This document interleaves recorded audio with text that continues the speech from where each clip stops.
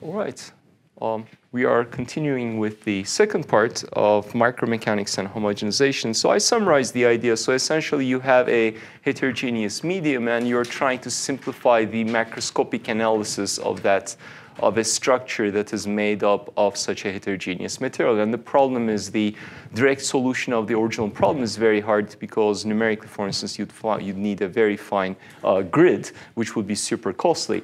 So instead, what we want to do is we want to approach the problem as we approach any other engineering problem. Uh, we have a material at hand. Of course, it has a microstructure. So what do we do in real life? We do an experiment. We characterize the material behavior. It's often approximate characterization in the sense that there is some modeling involved. We try to fit some curve to a data etc.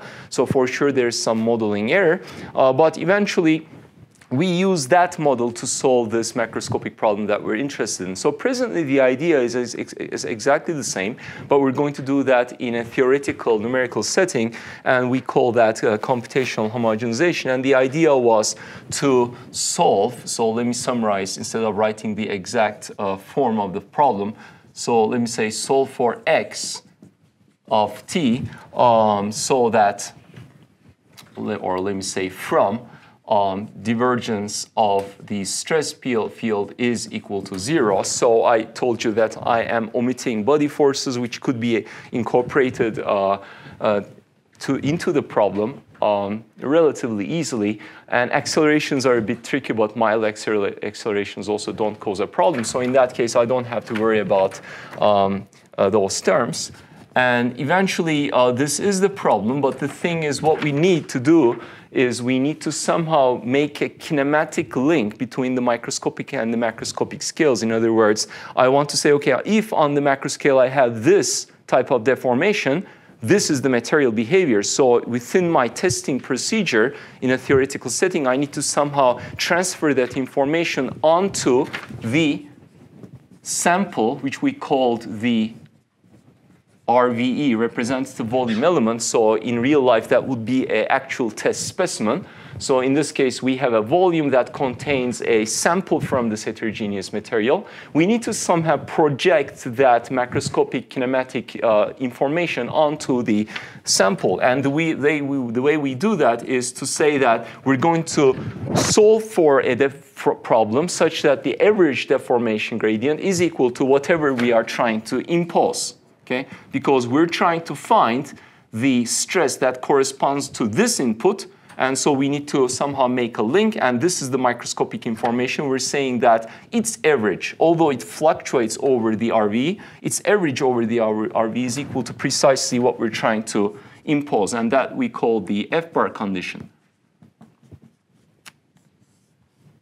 Um, Okay, and then uh, the purpose is to find the corresponding stress, and the stress is, uh, of course, eventually, once we solve for the problem, it's going to be highly oscillatory.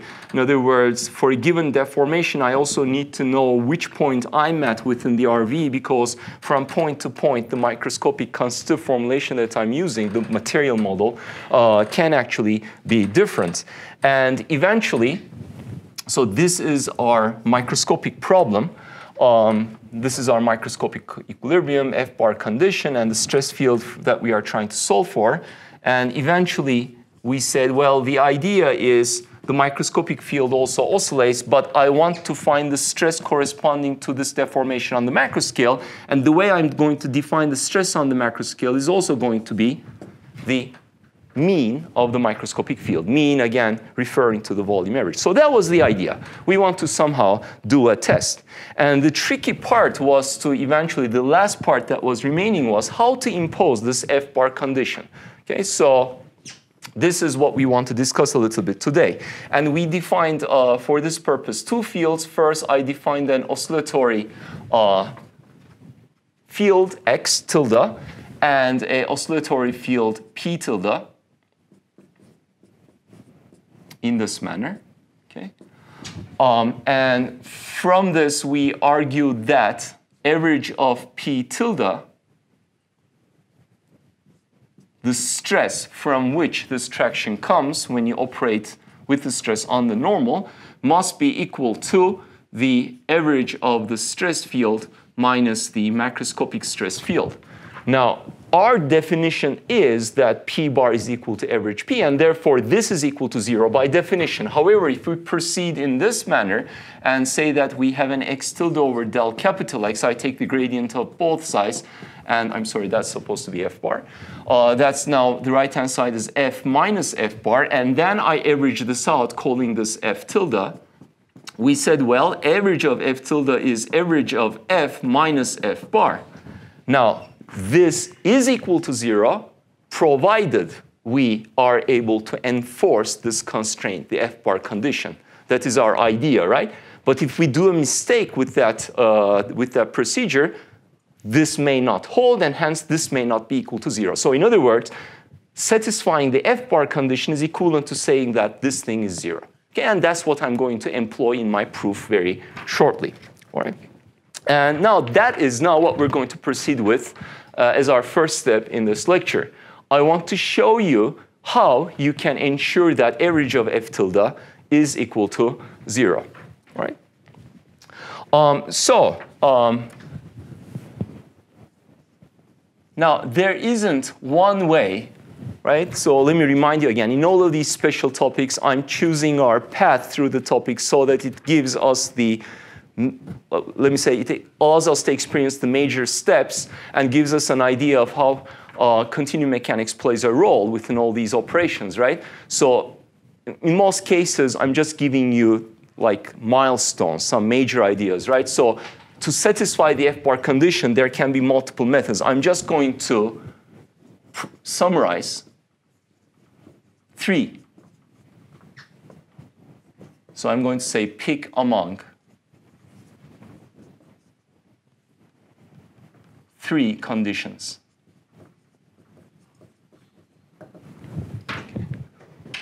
Or three possibilities. Okay? Um, now, let me see if I can fit everything onto one board because it has two parts. One, first I will state how we, or the procedure for satisfying the F-bar condition. And two, I will prove that they indeed do satisfy the F-bar condition. So first the procedure and then the, um, the proof, right? And now the F-bar condition, satisfaction of the F-bar condition is essentially going to be done by defining suitable boundary conditions for the theoretical problem on our RV. Because eventually, whenever you want to solve a boundary value problem, you need to have appropriate boundary conditions. And we've discussed that for the first time a little bit in the context of this topic on the uh, original heterogeneous and homogenized problem. So we know what type of boundary conditions there could be. But there are special boundary conditions for this um, homogenization procedure, and they need to be such that this F-bar condition is satisfied. So let me summarize three. So the first one is the what I'm going to call the Taylor-Voigt. And I'm going to abbreviate that as TV. Okay? And very soon you will recognize that this is identical to the Cauchy-Born hypothesis that we followed in the atomic to continuum scale transition. So remember, presently we have a very narrow focus. We're doing continuum to continuum scale transition, where on the micro scale we have a solid, on the macro scale we also have a solid. But usually the procedure is very, very similar for other types of microscopic models like fluid solid mixtures, etc. And in fact, the boundary conditions even these types of conditions that I'm discussing are also mostly applicable to the, those different uh, settings where the microscopic continuum is not as solid but something else. Right? Um, so the first one is Taylor-Voigt, and Taylor-Voigt some says that says something super simple. It says that this oscillatory field that you pick, that we defined, right, that I just summarized, x tilde, which is x minus f bar capital X in other words, the difference between the actual position and position predicted by uniform displacement, right? This is position predicted by uniform displacement, such as in Cauchy-Born hypothesis. X tilde is equal to zero everywhere. Okay? Okay? So that's equivalent to saying that F is equal to F bar in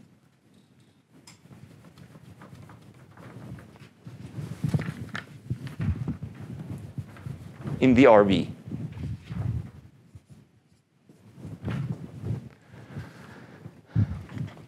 Now, that's very nice, right? Right. Um, so that means I don't need to solve for f throughout the sample. You know, I don't need to solve any equilibrium condition, right? I don't need to solve, I don't need to satisfy divergence of P is equal to zero. So why? Because I know that the microscopic stress, since F is equal to F bar from that condition at every point in RV, then if I want to know the stress at any point, it's simply P evaluated at F bar. There is also X in there. I just dropped it because it depends on the phase I'm in. Um, and then my purpose was to find the macroscopic stress, which is the average of the microscopic one, which is now the microscopic stress at every point evaluated at F bar, volume averaged. And that's it, right? Super simple.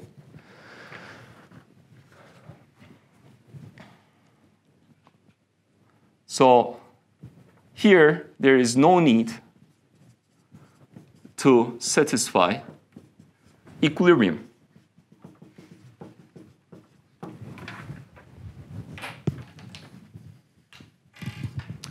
Now, of course, we're not happy with that entirely. In other words, this is a cheap, but strictly speaking, wrong type of way to impose the F-bar condition because I need to have equilibrium always so that the material behavior is correctly predicted, right? Um, or that I have the correct solution, of course, to the problem from which I can extract some meaningful information. So this information is incorrect because F is not the local deformation that satisfies local equilibrium point-wise, right? So, but, but it's very cheap.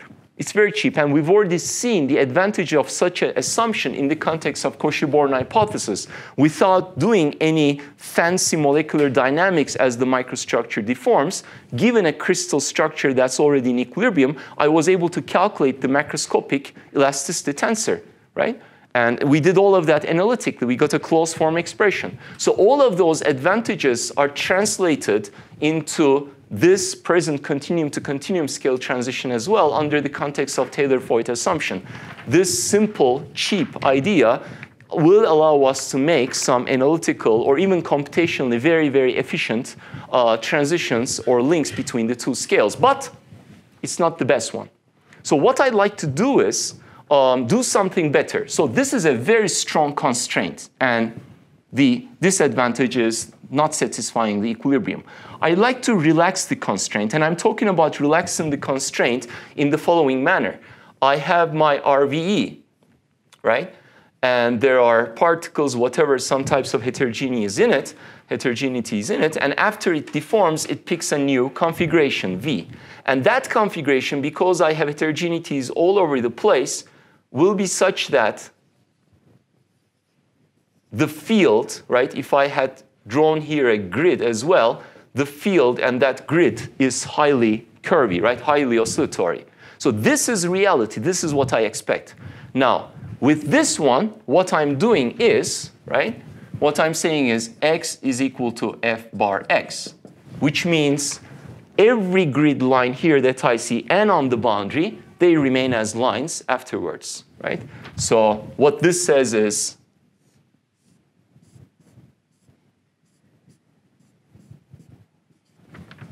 my deformation of the RV looks like this, inside and on the boundary. And because the lines are not allowed to deform according to the realistic picture, you don't satisfy equilibrium, etc. So let me do something better. What I will do is I will still constrain x tilde or x to obey this condition or x tilde to vanish, but only on the boundary. And I will let the internal points relax. Okay? So in other words, I will suggest a second type of boundary condition that satisfies eventually, I'm, about, I'm also going to show that these do satisfy the F-bar condition, but I'm going to now propose a so-called linear displacement boundary condition. I'm going to abbreviate that as LD.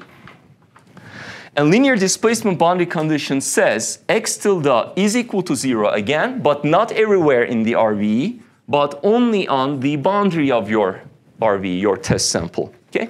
And that is equivalent to saying that x is equal to f bar capital X only on the boundary.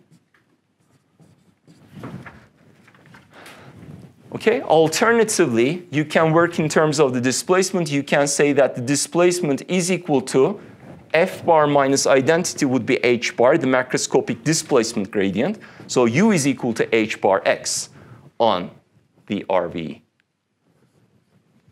And that's where linear displacement boundary condition name comes from, right? The displacement on the boundary is linearly prescribed through a constant tensor and the position of the boundary point?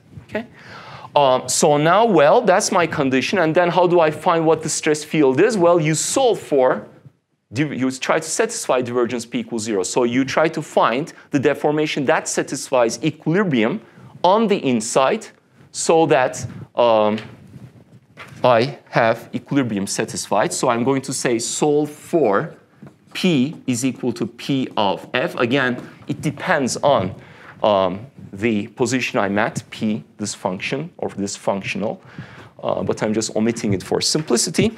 And P bar is equal to average P again, of course. So solve for P from microscopic equilibrium. Okay? And what this one is going to do is it's going to take your RVE and it's going to keep the deformation on the boundary as a line, okay, because it's uniform deformation, but on the inside, the grid that in initially was a straight line perhaps, and I'm just depicting it here roughly, um, it's allowed to reach equilibrium and therefore after deformation it will be curvy. Um, okay, so that's a second choice. Um, now, this idea of keeping the boundary fixed but allowing the stress field to satisfy equilibrium is actually a concept that indirectly we referred to as we referred to before, and now perhaps it will become more clear. It's called internal relaxation.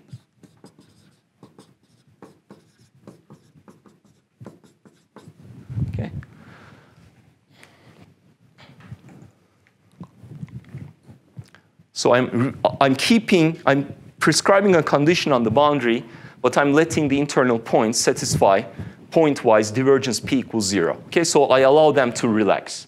But notice that the name is very carefully chosen. It's called internal relaxation. And the reason is that the realistic deformation of the RV is probably, so in other words, if you think of this as a piece of the material that is deformed and there's material all around it on the macro scale, they're heterogeneous all over the place, and I'm just zooming onto a certain portion after deformation, everything is highly oscillatory. So this is probably the good picture, the realistic picture, whereas this is still approximate because the lines are straight. So there is still, in some sense, some constraint on the boundary. I am only allowing internal relaxation, whereas in the vicinity of the boundary, I'm holding those points constrained. Okay, so there is still some restriction in this idea. So now the third level, right, among our three choices that I'm summarizing is to also relax that. In other words, we're going to see if we can also do relaxation on the boundary, not only internally. Okay, that's going to take us now to the third picture. But let me again make a link to the Cauchy-Born or the atomic to continuum scale transition. In that case, this is the condition we had invoked. And there was an experimental, right, uh, idea or, or, a comparison with some experiment where on a uh, silicon microstructure or crystal uh, from the Cauchy-Born hypothesis using some potential, they predicted the material properties for cubic symmetry, right? And they found that, that it was far away from microscope or the experimental conditions. And then I said, I gave you some numbers. I said, if you allow internal relaxation, then those numbers approach, right, the experimental measures. So when I talk about internal relaxation, this is what you could possibly do. Okay, this is one thing you can do. The thing I'm going to talk about next is something you can do even better. But there you allow for relaxation, meaning you allow those internal atoms or points to reach or satisfy local equilibrium. There it was described in terms of net force on an atom to vanish. Here it's described as divergence P equals zero. So there are different settings, the conditions look different, but it's equilibrium in the end, right? Um, okay, so therefore we can also expect that this is going to be far from experimental results if we indeed do experimental tests on such a material. And this should be closer because you allow the material to reach equilibrium. And what I will now talk about should be even better because we will try to do relaxation on the boundary as well. And that takes us to what is called a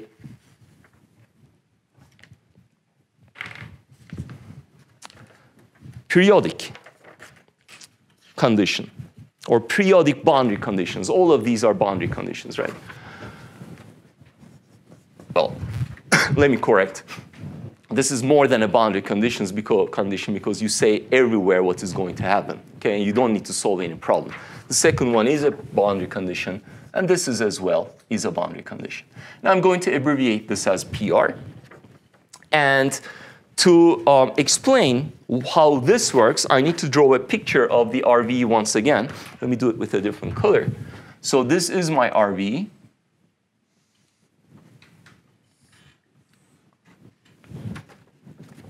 That's V naught. Okay. Now I'm going to um, decompose the boundary of the RV into two portions. So this is the whole boundary, del V naught, right? let's also write that. This is del V naught. Um, there isn't, again, one way to do this, but I'm going to call, let's say, top and right portions the plus side of the boundary. And I'm going to call the left and bottom portions of the boundary the minus side of the boundary. So together, if you take their union, you will have your complete boundary. Okay? And moreover, I am going to define points that are what we call periodically linked. So I'm going to pick a point on the plus side, and I'm going to find its counterpart on the minus side. This is the plus point. Okay, this is the minus point. And I will indicate everything associated with those points when I talk about pairs as such. So for instance, here there will be an x plus and an x minus in terms of positions. There will be a p plus and a p minus in terms of tractions. And eventually there will also be, for instance, outward unit normals, n plus and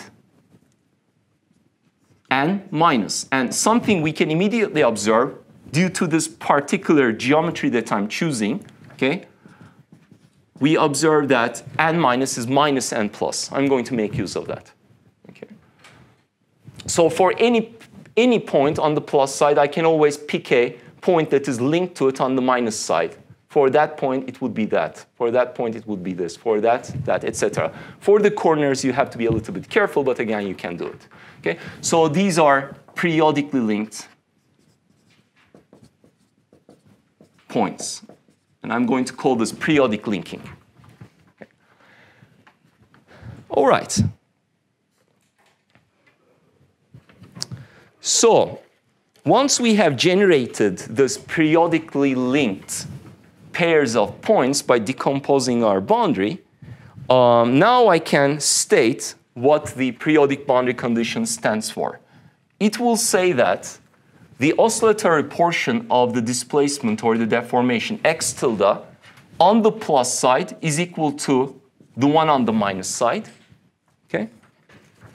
And the oscillatory portion of the traction on the plus side is equal to minus the oscillatory portion on the minus side. Okay? So these together are called periodic boundary conditions, and one says that displacement satisfies periodicity traction satisfies anti-periodicity, anti coming from this minus sign, but together one just calls this the periodic boundary condition. Okay? And it's very, very typical in many problems of physics and engineering, uh, and it's very useful because it has uh, advantages. Okay? Now, once we have this condition, and it's a strange condition now, I'm not telling you exactly what x tilde is, and I'm not telling you exactly what p tilde is, but it turns out this problem does have a unique solution apart from some no, no rigid body rotation is allowed with this boundary condition, but if you translate your RVE left, right, up, down, inside, outside, this condition is still satisfied. So you have to constrain rigid body translation when you numerically implement this procedure. But apart from that technicality, this problem will have a unique solution. It looks strange, but it does. Um, okay, so, well, once I can solve for it, and that's what we're going to do, so, or that's what we need to do, I solve for the stress field once again. So I'm going to say again from the equilibrium condition. And the macroscopic stress is again a volume average, and I'm done. Okay? Now, as I said, you encounter this boundary condition very, very often because it is a, in some sense, a optimal condition. And this optimality, and I need to write this here, has different interpretations. Okay? And we could spend a lot of time discussing uh, what these uh, interpretations are. But eventually, I'd like to give you um, one interpretation, in which case the periodic boundary condition gives you the exact microscopic stress field, exact compared to linear displacement boundary condition. I told you that linear displacement boundary condition has a strong constraint on the boundary. Okay? So we talked about, I said, well, can we do something better? Can we allow the boundary to relax as well? This allows the boundary to relax to the exact microscopic stress field under some conditions, and I'm going to talk about it in a few seconds. So, but before I do that, let me tell you what these conditions correspond to. What these conditions equivalently uh, say is the following, right? So the linear displacement boundary condition, if you look on the boundary, says that your RV is going to deform only on the boundary uniformly. Taylor-Voigt says it deforms uniformly everywhere, but linear displacement says only on the boundary. Okay. Now, what the periodic boundary condition says is, on the other hand, so this is, if you like, f bar x, what the linear, what the periodic boundary condition says is that this is not necessary. I will allow the boundary to relax as well. And let's say the boundary relaxes like this, okay? And therefore, this is now the actual displacement field that is predicted by the periodic boundary condition. Now here, you make a certain amount of you allow a certain amount of fluctuation, x tilde. Remember, x tilde is the difference between x and f bar x. So it's not zero uh, because uh, of because of the fact that this is not equivalent to linear displacement boundary condition. But you allow this fluctuation in a very, very, sorry, special manner. It should be such that on the plus side, the fluctuation should be exactly equal to the one on the minus side. In other words, on the minus side, the picture looks like this.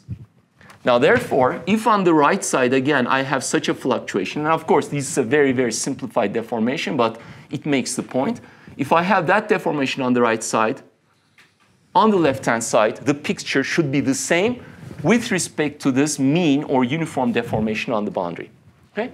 But that's not all. What I'm also saying is that this, this periodic deformation is such that if you look at the stress field at this point, let's say on the plus side, P plus, this is equivalent to saying that the stress here, or the traction here, is exactly equal and opposite to the traction on the minus side. And what that would mean is that if you take this blue line translate it down here, and if you try to fit these two points together, for equilibrium, you would need two things. One, kinematically, the boundaries of that picture and the one I translate down, and let me do it like this. Okay.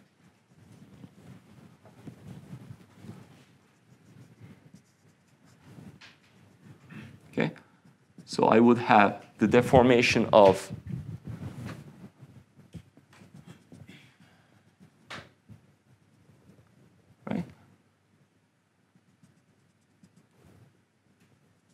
So I translated this blue line down here, okay? So this deformation is there, continuing, okay?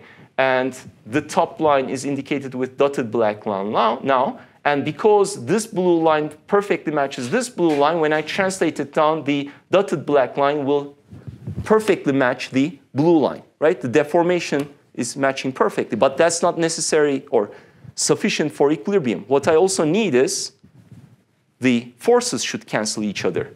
And P tilde equals P minus guarantees that. Those pictures fit perfectly onto one another, right? Um, so that is the idea in periodic boundary condition, right? So that is just the condition we're talking about. I'm not saying that it's realistic, but it is allowing some type of relaxation of the boundary with respect to the mean field, which is described by the linear displacement boundary condition. Okay. Um, all right. So now. Um,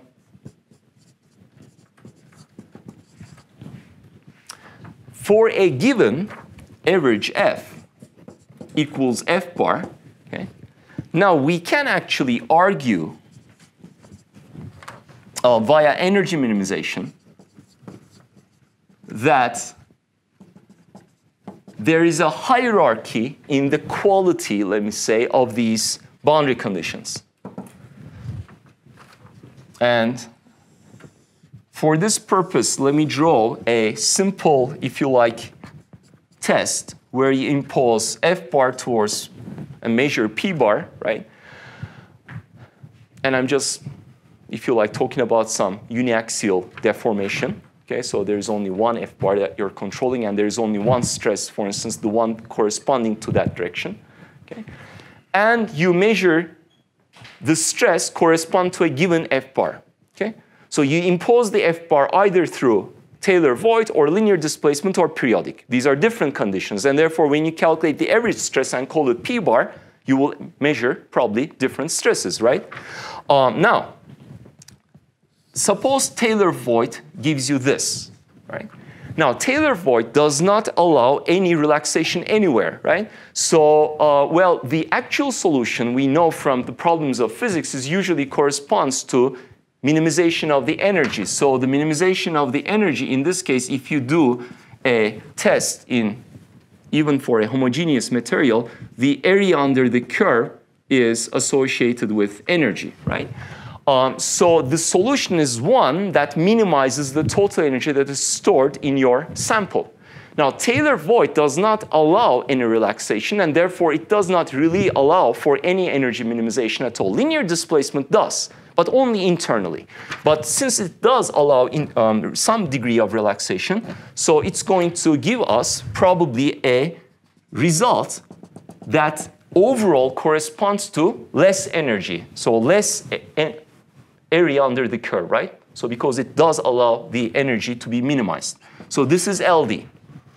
But this is only relaxation on the boundary. Now, periodic boundary condition also allows something to happen on the boundary as well, not only internally, also on the boundary. So when you deal with the periodic boundary condition, you expect now a curve that is even less steep because the area under the curve, the total energy should be even less because you're allowing for complete energy minimization, right? So if you do um, numerical tests where you impose the F bar condition and measure the average P and you plot them from these different conditions, you, you, you um, measure these curves and we expect this one to be closer usually to the um, experimental measurements because you allow for relaxation. It turns out linear displacement, if you um, employ it correctly, will also work fine. In other words, under appropriate conditions, and that mostly has to do with how you choose your RV, in particular, how large it is, how many particles, let's say, there's in it. These two curves may approach each other, and in some limit where the RV is very, very large, um, they might overlap. But this black line is always a, let me say, a terrible choice, okay? But it has theoretical advantages. So I'm going to say that these two are, okay, and when I say these two, I refer to linear displacement and periodic. Both are practically useful if you know what you're doing.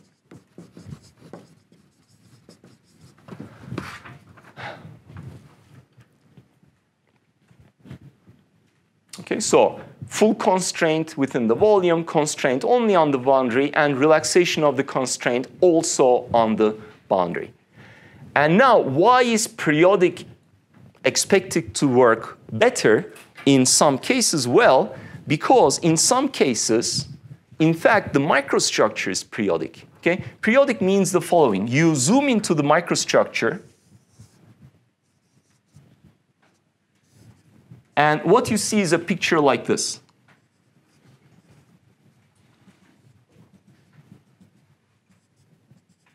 Let's say there are particles, right?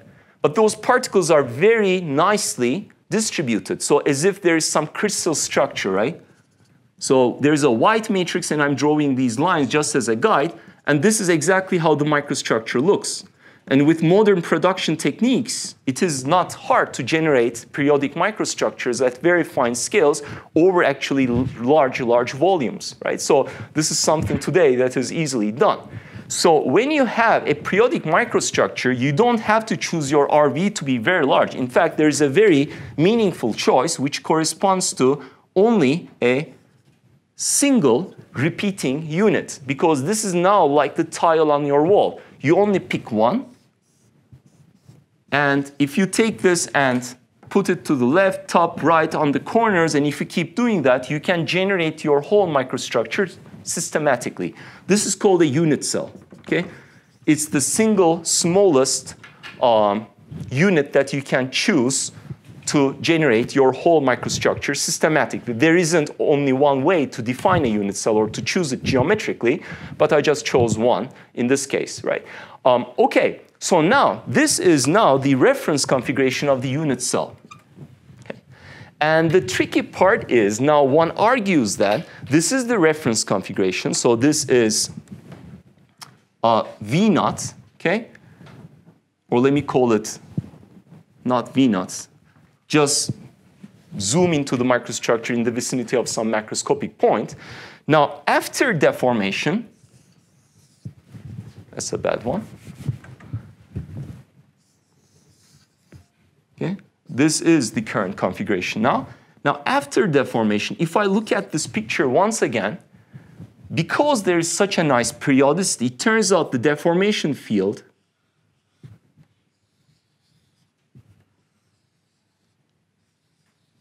is also one that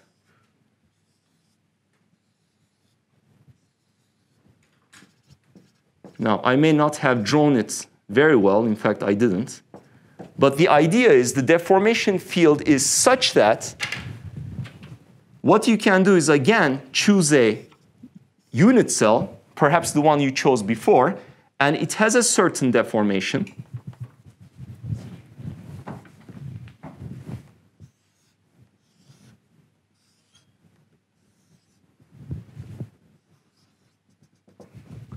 And you take this picture, translate it left, right, top, down, corners, etc., and what you see is you obtain this blue picture.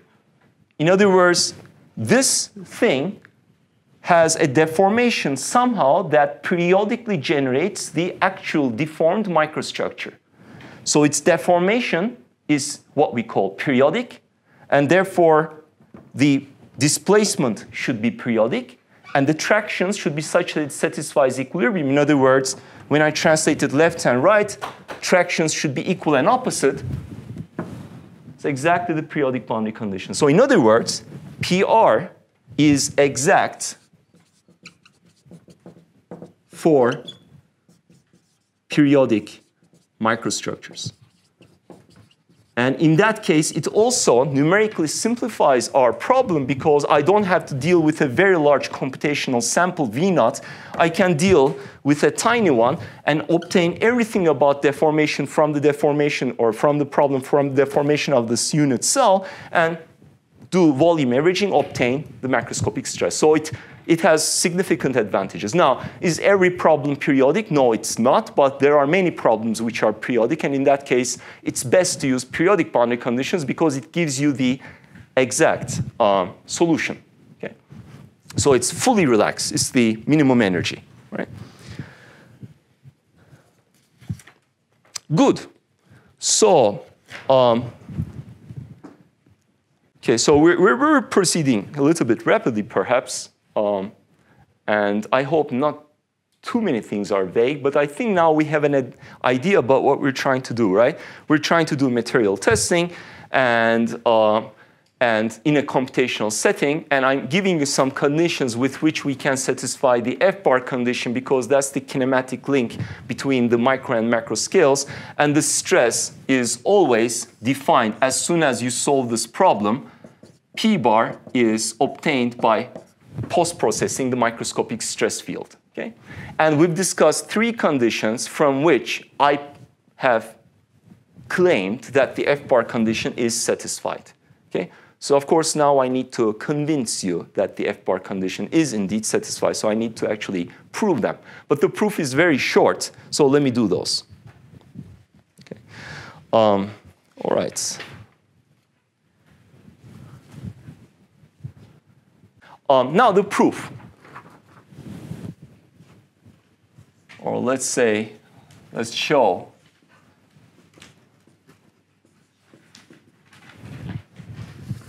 that for a given f bar, average of average f is equal to indeed that given f bar based on these con um, boundary conditions. Okay, so for this purpose, sorry.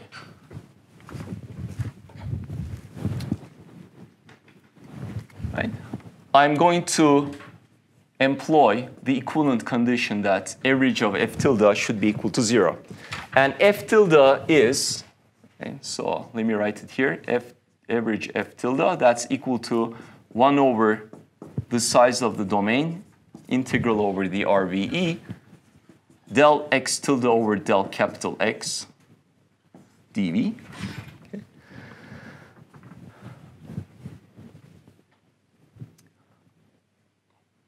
Okay. so this is like, like x tilde i capital X A so that's x tilde i comma a. So I can use things that are, right, all those uh, differential, let me say, relations that allow us to make a transition from volume to boundary integrals and deduce immediately that, in fact, this is something we had written, uh, deduce immediately that this is equivalent to x tilde bon n.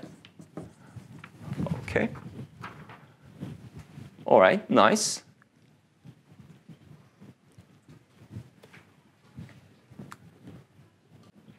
Okay, now the proofs, they immediately follow for the first two. For Taylor-Voigt, x tilde is zero everywhere. In other words, f tilde is equal to zero. So I don't have to worry about it. It's immediately equal to, this, this thing is immediately satisfied. Now for a linear displacement, x tilde is not zero within the domain because you allow relaxation, but on the boundary, x tilde is equal to zero. Okay? That was our definition, right? Uh, so in other words, just from the expansion of f tilde, right, explicit expression within the volume and through a boundary integral, uh, I immediately see that the first two are trivially satisfied. So the only thing I have to be careful about is the periodic case. But for the periodic case, it's also simple, simple because what I will do is I will decompose this term, let's call it star, star is equal to integral over the boundary. Now I'm going to decompose the boundary into the plus and minus portions. So there is x tilde plus bond n plus dA plus there is the minus portion. And together they constitute the complete boundary.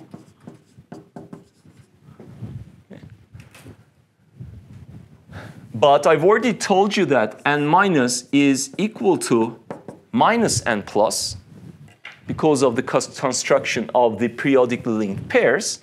And therefore, this whole thing is equal to integral over del v naught plus x tilde plus minus x tilde minus bon n plus d capital A.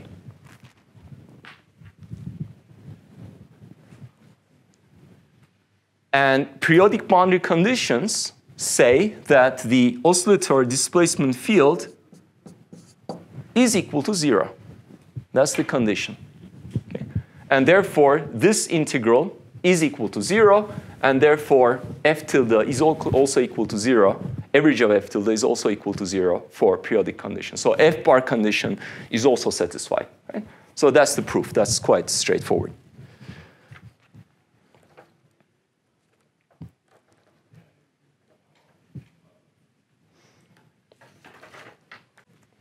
So I picked those three conditions or defined them because they are special, because they do indeed satisfy the F-bar condition. And now we're done, essentially, with the basics. Um, so I understand what I mean by homogenization, right? I want to simplify the solution of this macroscopic problem by doing theoretical or computational tests in this case, uh, which are the counterparts of experimental tests. And you impose the macroscopic deformation somehow. And in this case, it corresponds to the F-bar condition. And you pick among the three, for instance, that I've described. Um, and each one, in some sense, has its advantages, but periodic is optimal in most cases. And then you solve for the microscopic stress field, you average it, you obtain your macroscopic stress. And then remember, I do modeling, I fit some curve to my data and use that for the solution of the macroscopic problem on a very coarse grid, so the problem is now much easier to solve. That's the goal, right? Uh, but you do all of this, and then you wonder, well, is it possible that I'm messing up somewhere, right? Because it's easy to make a mistake, and I already gave you one example. For instance, I told you that, well, we are defining the um, macroscopic, fundamental macroscopic stress and strain, or kinematic and kinetic measures to be volume averages. So F bar is average of F, and P bar is equal to average of P. But this is not true for every case. So for instance, E bar, I told you, is not equal to emphatically, right? It's not equal to average of B, E, or S bar is not equal to average of S. So if you're not careful, you can introduce some inconsistencies into your procedure.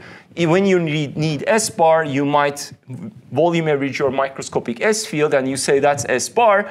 And then at some point else, you might need P bar and you might say P bar is equal to average of P. You might also use that, but then remember,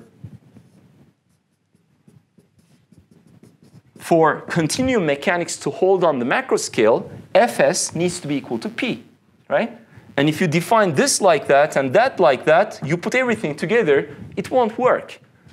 Because the right condition is you have to use this macroscopic relation to actually define what S bar is. And S bar is therefore defined as F bar inverse um, P bar, okay? Um, so this is the type of thing I'm, I'm, I'm, talking about where you need to be careful. You need to, be, you need to make sure that you are not violating some, uh, let me say, consistency relation with respect to the behavior or definition you expect in the context of continuum mechanics.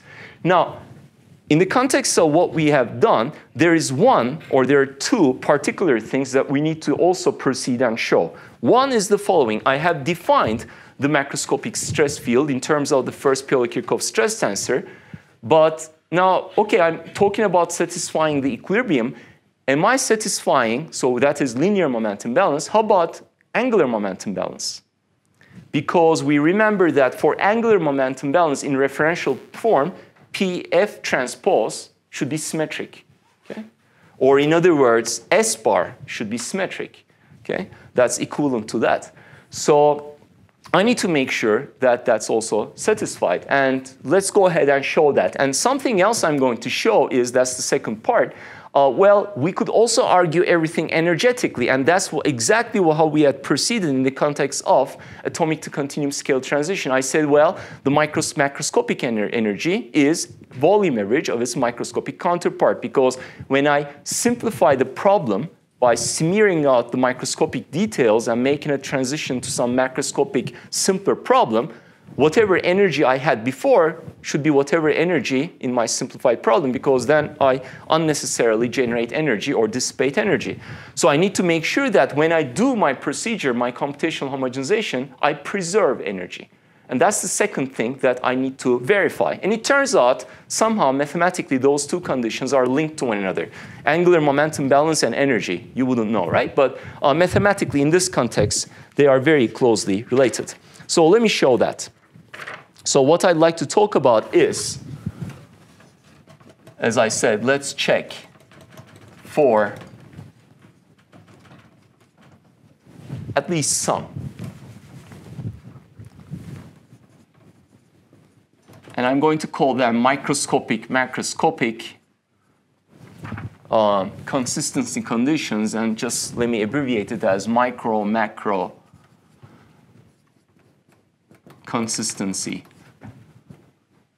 conditions. And I already gave you one example in terms of the definition of the stress. Okay. Um, so, um,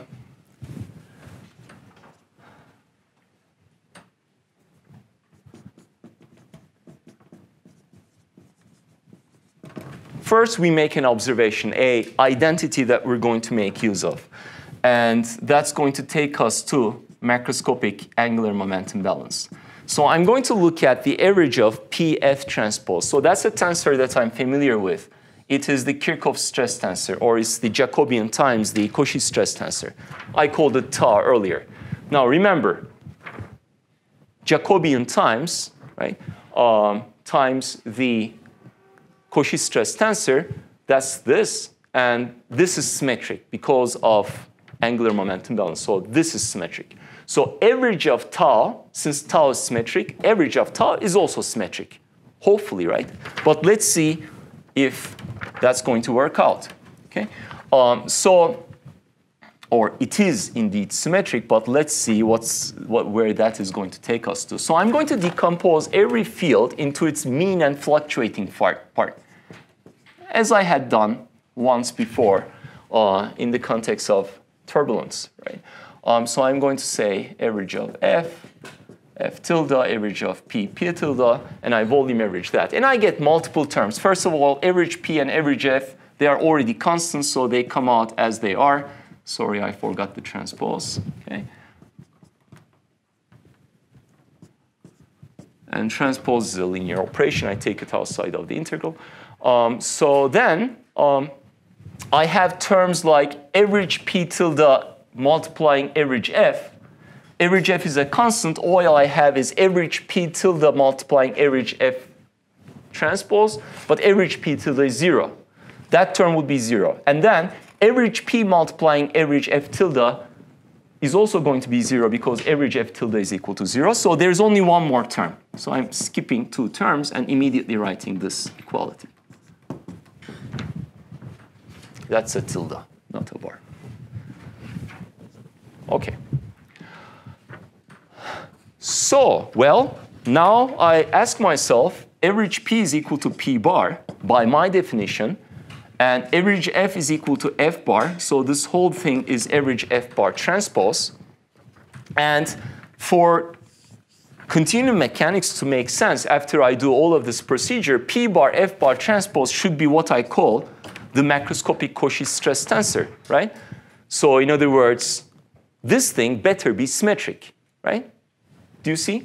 I'm defining P bar to be a volume average and F bar to be a volume average, okay? And then so P bar F bar transpose is tau bar. I call that the Kirchhoff stress tensor on the macro scale. This is supposed to be symmetric, but after I do all of these averaging operations, perhaps it's violated because there are some other terms. And indeed, if you look here, the left-hand side is guaranteed to be symmetric. If this is symmetric, but there is such a term there, perhaps this is not symmetric and this is not symmetric, together they sum up to something that is symmetric. So in other words, as long as this term is, not, is here, so I cannot get rid of it, I cannot guarantee that this is symmetric. There is no proof for it. However, if I can show that this is equal to zero, left side side is symmetric by construction, so this must be symmetric, and that's equivalent to saying that macroscopic angular momentum balance is guaranteed. Otherwise, there is this term that messes up my argument. So I need to show that this is equal to zero. It would be nice if it were equal to zero. Okay? So my question is, is this symmetric? And that's what takes us to the question, right, or the observation that clearly tau bar is equal to average of tau um, holds, right? If average p tilde f bar tilde transpose is equal to zero. Okay. Um, I'm sorry, I'm correcting one thing, right? So I made a mistake here. So this should be average of p tilde f tilde transpose. Otherwise, individual terms are, of course, zero. Oops.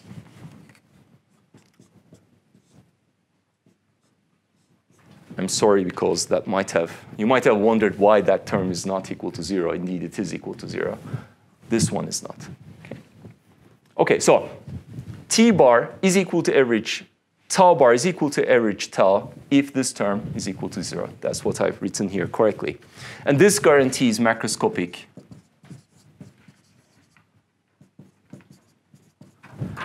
um, angular momentum balance.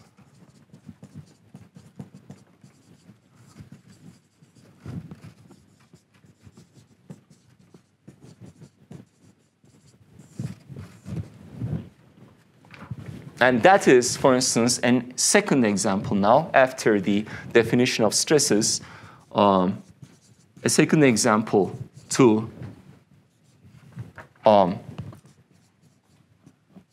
what I called micro-macro consistency. In this case,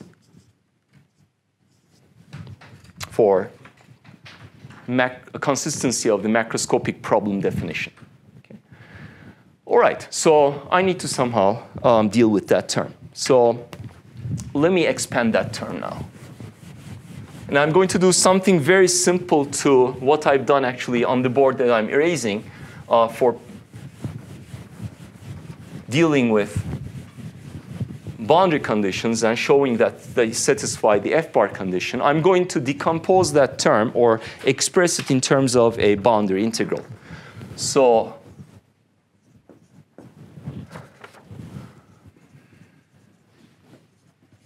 let's show the following.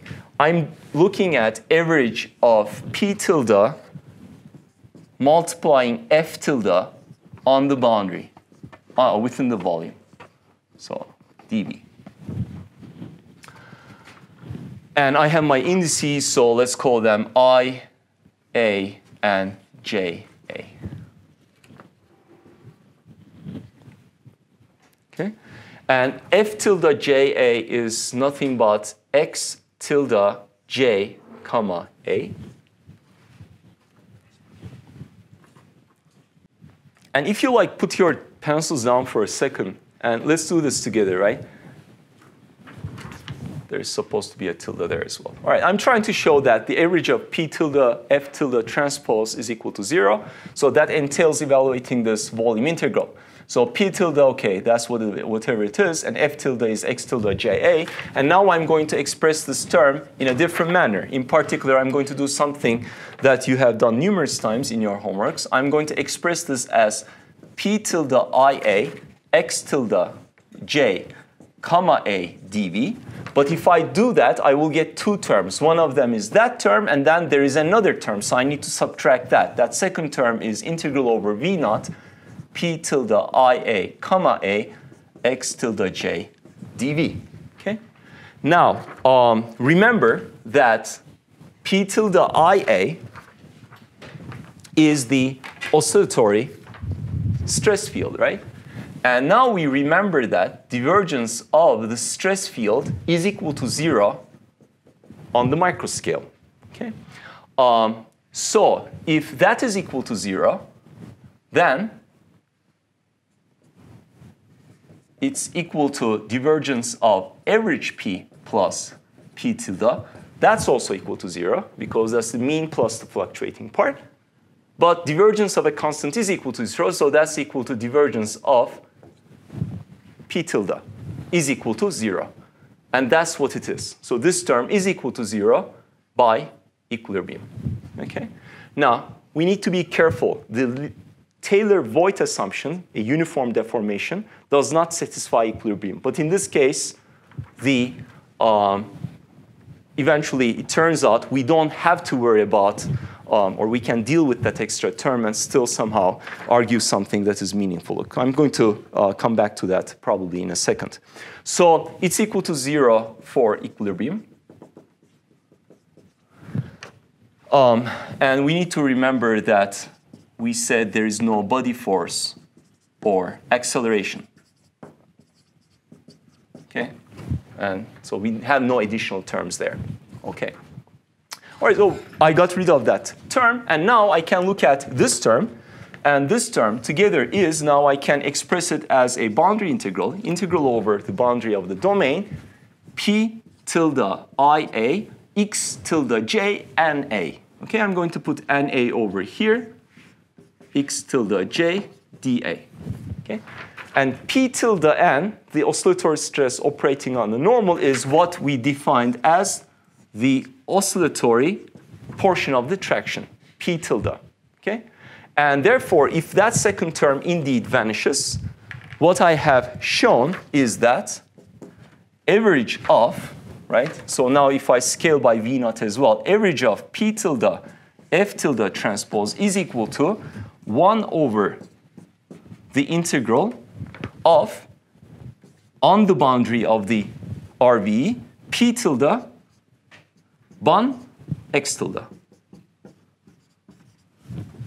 Okay? Please write that much. So that's the identity that we are going to make use of.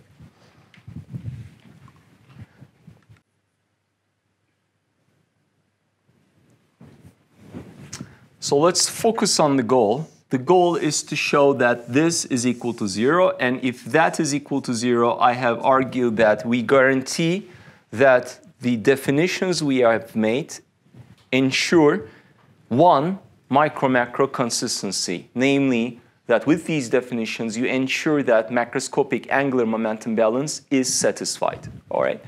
Um, and for that, right, this is what we are trying to show. And this is the transition that I made to simplify that discussion. So now we have a look, right? So first of all, the Taylor-Voigt assumption, which says that x tilde is equal to zero everywhere. It does not satisfy equilibrium, but now if I look at these terms actually, so there is a problem because this term does not automatically vanish, but this equality is in fact still true because x tilde is equal to zero everywhere for a, right? Taylor-Voigt assumption. That is the condition. Deformation is uniform everywhere. So this term immediately dies out, also this is not equal to zero. Um, and then this remaining term likewise dies out because x tilde is equal to, again, zero everywhere and hence on the boundary as well. So um, this is trivial for Taylor-Voigt. Now, for a linear displacement condition, you do satisfy equilibrium, and therefore this term drops not because x tilde is, equal to zero, but divergence of p is equal to zero. And then you're left with that boundary term, and the linear displacement condition says that x tilde is zero, not on the inside, but on the boundary. Okay? So also for linear displacement, this is trivial, trivially uh, satisfied. So the thing that we have to worry about is the periodic one. And the periodic one is also simple because if I look at that term, star, okay, star is equal to, now again I will decompose that integral into the plus and minus portions of the boundary. So I will have p tilde plus bon x tilde plus dA plus del V naught minus, and on the minus side, P tilde minus X tilde minus dA.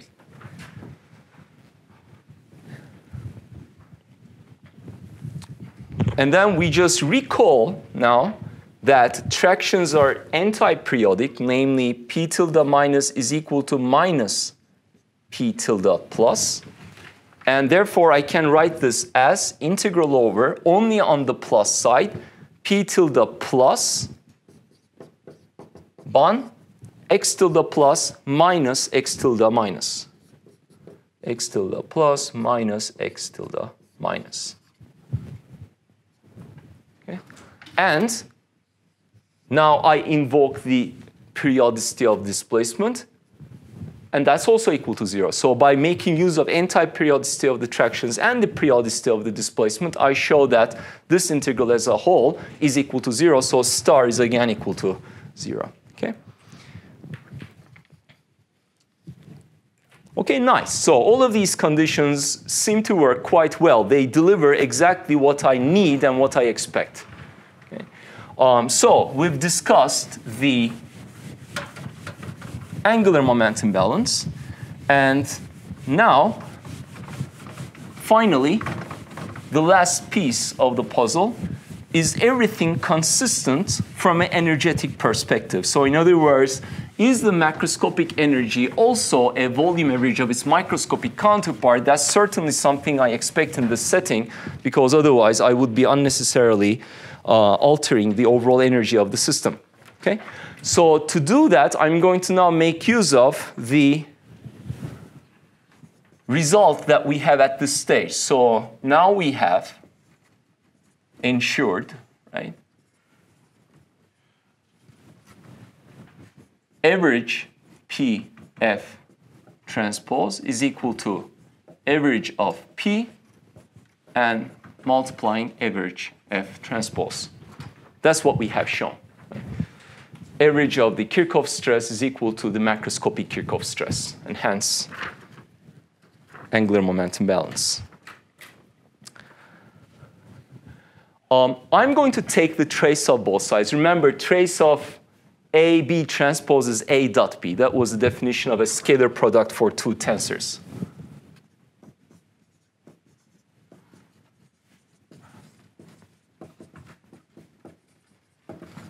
So we have P dot F is equal to P dot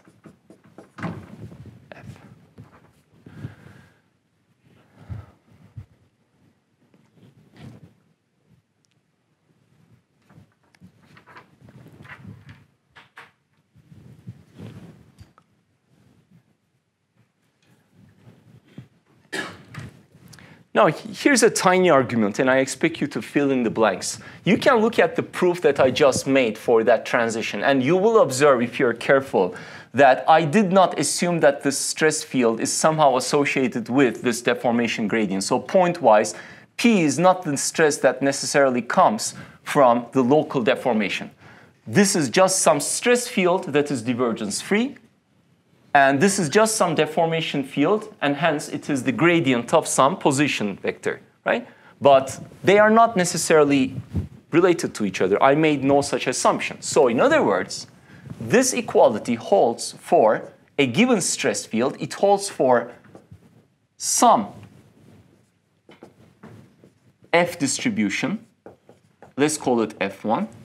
It also holds for some other F distribution. Okay? Let's call it F2.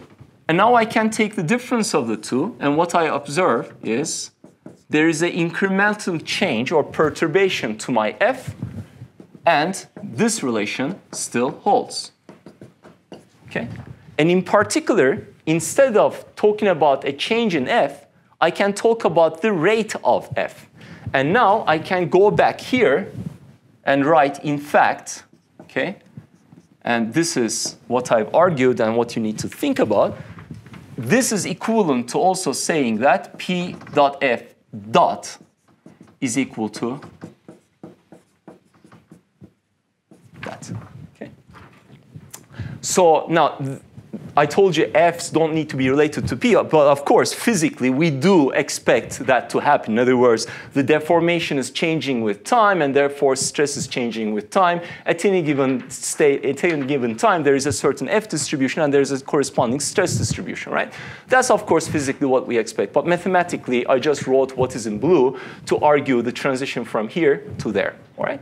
Uh, so now that is an interesting expression that we are going to make use of uh, because what you see on the left-hand side is the volume average of the stress power remember? P dot F dot, when we talked about uh, mechanics of soft materials, that's what we defined as the stress power, okay? And let's let me write this um, explicitly. So this is average um, microscopic stress power.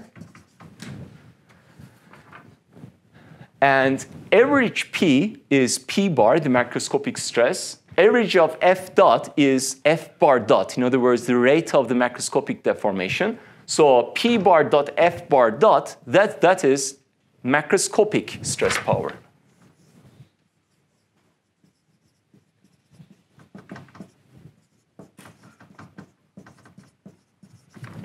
So what we see is that because of the deformation, or in order to induce local deformation of the material, you have to put in some work per unit time. That's your power, right?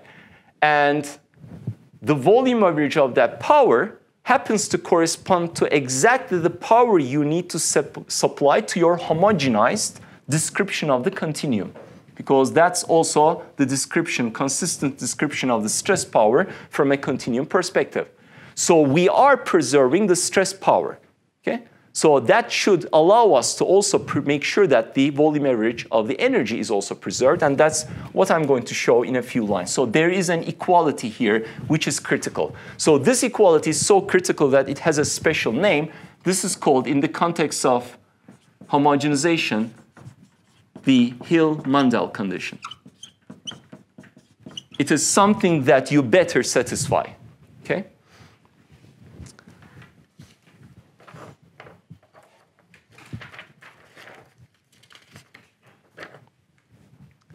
And now let's get to the point about energy. Okay?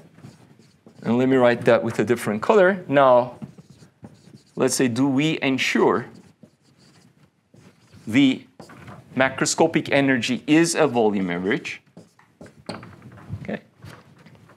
Um, and the answer is yes, and the proof is quite short once we have these relations on board. Well, for this, to be true, let me begin with the left-hand side, W bar. That's the macroscopic energy.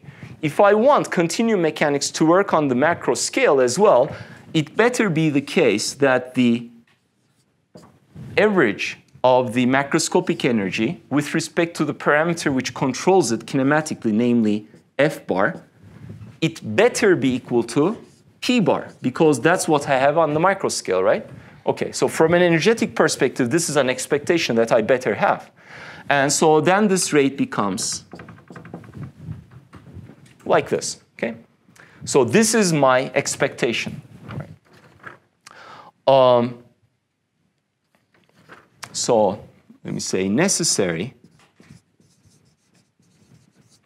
for macroscopic hyperelasticity.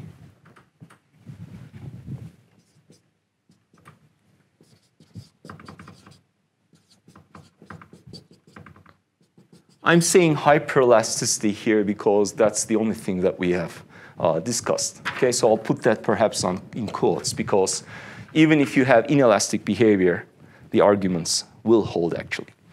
Um, okay, well, uh, well, if now if I want to make a link to the right-hand side, now I can plug in my definition. So if I can try to see um, if my definitions will take me or carry me over to this to the right-hand side of the equality. Okay? So my definitions are that average P is equal to F bar, and this is equal to average of F dot. Okay? So let's see what that does. What that does is now I have this result, right? And what I've just shown is that this is equal to this. Okay, so I can move from the right to the left.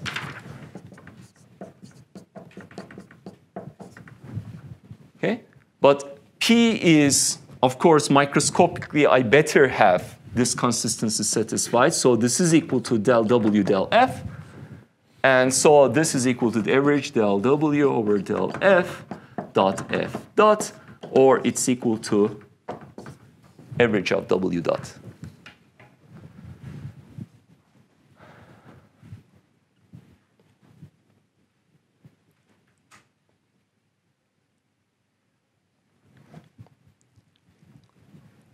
So the energy rate and hence the energy is preserved in scale transition.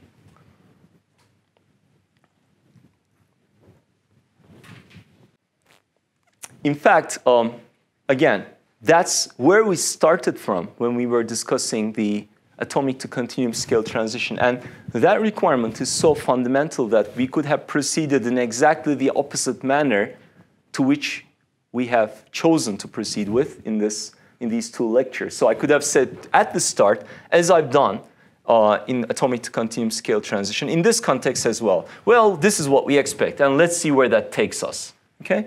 And it turns out first, it gives us or induces the Hill-Mandel condition, right? And that's why it's so fundamental, so it has a name, okay? Um, and then we could say, well, to satisfy that, what do I need? I need to have special boundary conditions, et cetera, et cetera. And in particular, all of these arguments will induce the definitions that the macroscopic stress should be this, macroscopic deformation should be that, and so on, right? So, um, so the energetic point of view is very actually fundamental. But I've chosen a path that I think is a little bit more intuitive. I've discussed this from the point of view of material testing, but in a theoretical, let me say, computational setting, right? Um, all right, so that is pretty much the overview of uh, another topic or application of continuum mechanics, continuum to continuum scale transition uh, in the context of micromechanics and um, homogenization, right? Um, so that was the sixth one, and I think by now we have a pretty good uh, picture of um, how continuum mechanics helps us how it allows us to solve um, a, a, variety of problems, actually, right? And notice that here I'm consistently and pretty densely making use of also the mathematical framework that is um, indispensable in the context of continuum mechanics, right?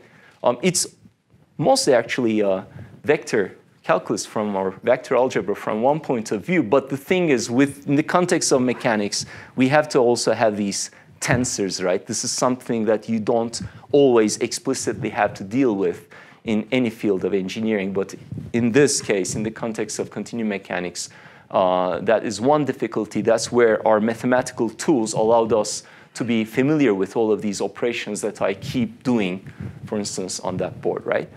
Um, Okay, so that's, that's, it's not only the, the, the, concept itself, the concept of continuum, but also the mathematical tools that it comes with that helps us attack these problems. All right? Questions?